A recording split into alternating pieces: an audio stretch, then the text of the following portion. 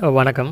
ஃப்ரான்ஸில் விசா இல்லாத இளைஞனை வந்து திருமணம் கட்ட போலி விசாவில் ஃப்ரான்ஸ் எல்லாம் முற்பட்ட ஜால் ஜுவதிக்கு வந்து ஒரு கதை நேர்ந்திருக்கின்றது ஃப்ரான்ஸில் விசா இல்லாத இளைஞரை வந்து திருமணம் செய்து கொள்வதற்காக போலி போலந்து விசா மூலமாக யாழ்ப்பாணத்தை சேர்ந்த ஜுவதி ஒருவரும் ஒரு நான்கு பேரும் வந்து இன்று கட்னாக்கா விமான நிலையத்தில் வந்து குற்றப்புலனாய்வுத்துறையால் வந்து கைது செய்யப்பட்டிருக்கின்றார்கள்.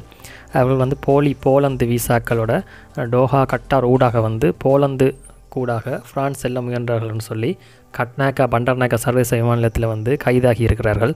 இவர்களில் வந்து ஒரு இளம் ஜுவதியும் உள்ளடங்குகின்றார். இவ்வாறு கைது செய்யப்பட்டவர்கள் வந்து கிளிநொச்சி யாழ்ப்பாணம் மற்றும் ராஜகிரிய பிரதேசங்களை சேர்ந்தவர்கள் என்று தெரிவிக்கப்படுகின்றது. இவர்கள் இருபத்தி ஒரு வயதுக்கு முப்பத்தி ஏழு வயதுக்கு இடைப்பட்டவர்கள் என போலீஸார் தெரிவித்திருக்கின்றனர்.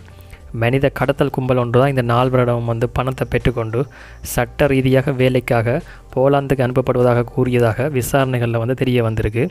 கைது செய்யப்பட்ட இருபத்தி மூன்று வயதான ஜாழ்ப்பாணத்து யுவதி வந்து பிரான்ஸ் இளைஞரை வந்து திருமணம் செய்ய சென்றதும் தெரிய வந்திருக்கின்றது.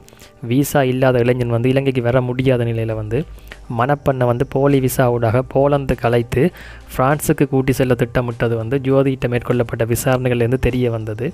ஏனைய மூவரும் வந்து வேலைவாய்ப்புக்காக வந்து பயணித்திருப்பதாக தெரிவித்திருக்கின்றனர். இந்த மோசடி நபர்களை வந்து கைது செய்வதற்கான விசாரணைகள் வந்து முன்னெடுக்கப்பட்டு வருவதாகவும் குற்றப்புலனாய்வு திணைக்களம் வந்து தெரிவித்திருக்கின்றது.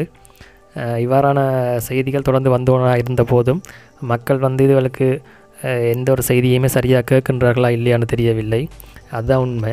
நாங்கள் எந்த ஒரு செய்தி வந்து நாங்களும் சரி வேறு யாரும் சரி சொன்னாலும் பாதி கேட்குறது மீதி கேட்குறது. அப்படி கேட்டாலும் அதை சரியாக தலைகளை போட்டுக்கொள்வது இல்லை தலைகளை போட்டுக்கொள்கிறவர்கள் தான் தப்பிக்கொள்கிறார்கள் தட்டிட்டு போகிறார்கள் தான் இப்படியே திருப்பி திருப்பி அதில் மாட்டுப்பட்டு மாட்டுப்பட்டு முழித்து கொண்டிருக்கிறது.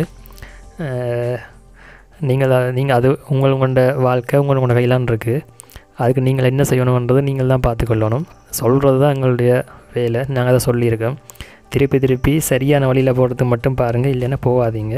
அப்படி நீங்கள் சட்ட ரீதியற்ற வழியில் போகிறோன்னு சொன்னால் அது அதுக்குரிய காலம் இது இல்லை. ஒரு காலம் இருந்தது தான். இல்லைன்னு சொல்லல. அப்படி தான் நிறைய போனது.